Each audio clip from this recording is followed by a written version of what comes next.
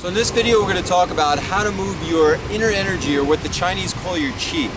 Now in my meditations I have many ways that you can use this qi to remove negative emotions like anxiety, fears or depression or things like that and you can see that in the meditations tab but uh, you can also use this uh, chi or inner energy to add positive emotions to you as well and you can see how to do that in my meditations videos in the meditations tab. Now we're going to talk about how to cultivate Qi and simple, quick ways to remove it. And that's done through Tai Chi or Qigong by doing simple movements. The first one we're going to start with is called uh, swinging hands. So essentially, all you're doing is moving your hands from side to side. If you imagine like there's a tube going through the center of your body, and that's what you're moving from. Feel this movement in your legs as well. Now, to look at it from behind, you'll see I'm just tapping my kidneys lightly. I'm not squatting down, just standing up straight, but comfortable.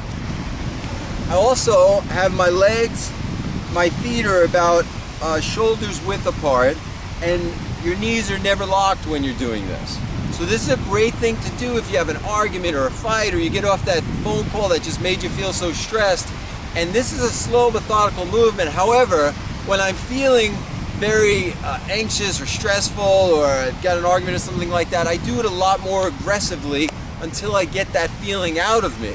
And all animals know about this. You see when dogs have a fight or ducks or birds or stuff, you'll see them shake that energy off of them. Essentially, that's what you're doing here. So the second movement, similar to this, also called swaying hands, is done just by moving your hands up and dropping them.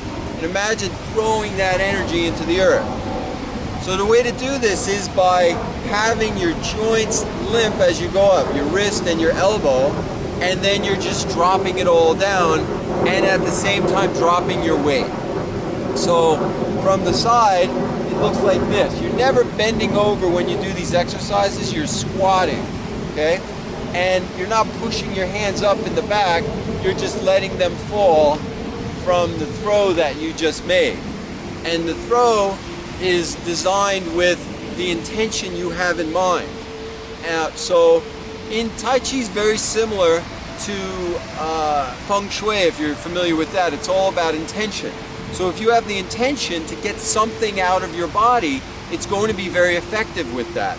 And that could be anything, including illness. So if you have a, a, a, negative emotion or some illness or disease or something like that, and you have the intention of getting rid of it, this is going to be very beneficial for you.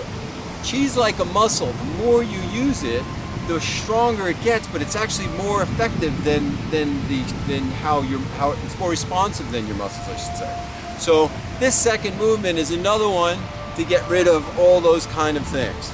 Next three that we're going to do are about cultivating more chi or energy. So the first one is if you imagine a toroidal field around you, or what they call a torus, going around your body, we have that energy anyway. So this is going to be moving it in a circular motion. If you imagine two circles coming together and they're going around you. Now where this is going is up the, the Chinese say that the chi comes from everywhere and it's all around us. It's included in the sky as well as the earth. So we're moving that field up and around us with our intention. And this is, the intention is to become healthy. And this is one of the few things that are, that allows that on all three levels, physically, emotionally, and spiritually. So if you imagine this field going around you in this way, this is what people are trying to achieve when they go to acupuncture. It's essentially they're using the needles to move your chi around your body in areas that you might have blockage, either through illness or some type of emotion. And they're also very related, and they're related to your organs. So if you have an intention that you want to heal a particular organ or illness, this is going to be very helpful for you. So moving this around, and you're going to be squatting down just in the other, just like in the other ones, with the intention of moving it. You do this with your eyes closed and and your tongue to the roof of your mouth. So moving it around, like a dance, slowly and methodically.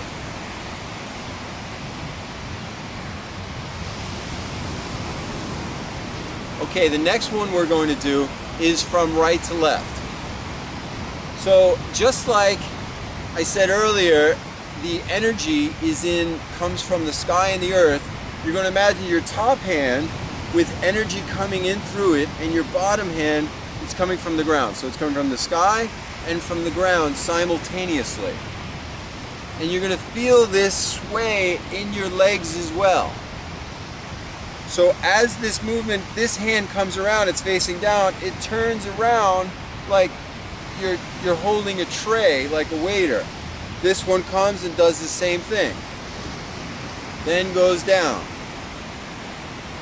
Very powerful movements. Now while I'm doing these movements, I imagine what's called a prana tube. Prana tube goes from the top of your head all the way down through your perineum, but it cuts through all of your chakras.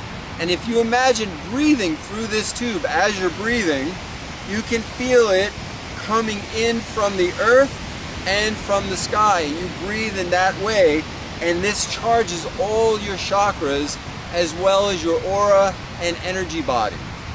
So, the, so breathing through this tube, and you can do it at any point in your day just by itself, is going to be very beneficial to move your chi and allow you to be more powerful in these, in these guided meditations that I have.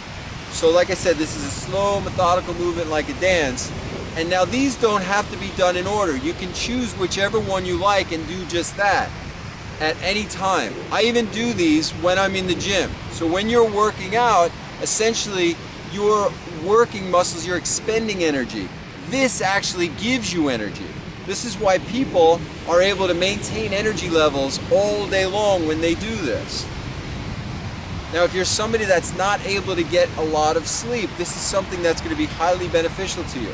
I always recommend people get eight hours of sleep, but if you're not able to do that much, 10 to 40 minutes of this every morning is going to be really beneficial for your overall health. So, as I said, one of the things you want to do with this is you're going to have your knees loose, feet are shoulder width apart, and your toes grabbing onto the ground. My, er, the beach is my favorite place to do this because the earth is a giant ball of free electrons. And you're able to connect with that and take electrons from the earth just by standing anywhere on it. Could be grass or the beach or something like that. You can see more about that in my video called Earthing. But it's a very powerful way of healing.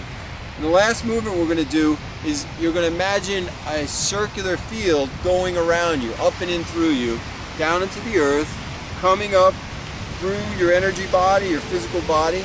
You're going to be lifting and capturing it up and pushing it out. Up and through your head, pushing it out. So this is now going through the earth, through the sky, and up and through you, clearing your energy and circulating it throughout your body.